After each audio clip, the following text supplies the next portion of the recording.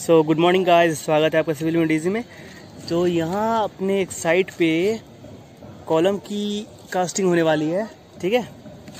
तो यहाँ मैं आपको बताता हूँ कि ये जो कॉलम के कास्टिंग के पहले, जो इस टाइप के कुछ आपको देखने को मिलेगा, है ना? जो कि जिसमें कन्फ्यूज़न होता रहता है बहुत सारे स्टूडेंट्स को, बहुत सारे नए सिविल इंजीनियर्स को। तो ये क्या चीज़ है भाई? तो ये चीज़ है, इसको बोलते हैं हम लोग स्टार्टर कॉलम स्टार्टर बोलते हैं। और ये जो है सेम ग्रेड का बनाया जाता है, ठीक है? जो कॉलम का रहता है। इसमें खास बात क्या है कि ये जो बीच में है, ठीक है? बीच में जो स्पेस जो छोटा हुआ, ये ऐसा ही छोड़ा जाता है। रीज़न क्या है कि इसमें कॉलम कास्टिंग करेंगे शटरिंग के बाद में तो अच्छे से इस पर बॉन्ड बना पाया ना? बिल्कुल चिकना रहता तो बॉन्ड नहीं बन पाता, ठीक है? तो ये बॉन्ड बना पाया अच्छे से बाद में इससे, क्योंकि ये पहले किया हुआ है इसीलिए इसीलिए इसको बीच में हम लोग, हम लोगों ने जगह छोड़ा हुआ है है ना?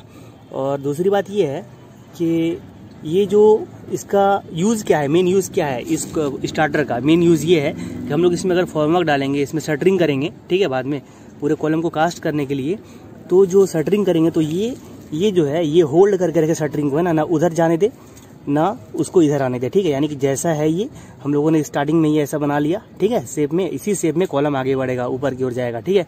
शटरिंग को बिल्कुल होल्ड करके रखेगा। मेन पर्पस यही है इसका।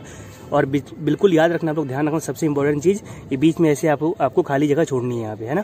ताकि ये अच्छे से बॉन्डिंग हो पाए। ये ये जो बीच में खाली जगह छोटी हुई है, ठीक है? तो यही चीज़ है इसमें, इसको हम लोग बोलते हैं column starter thank you have a good day इसी तरह से मैं आपके लिए प्रैक्टिकल नॉलेजेस के वीडियो भी ले, लाता रहूँगा। तो सब्सक्राइब कर लिए हमारे चैनल को, अगर सब्सक्राइब नहीं किया है तो और thank you have a good day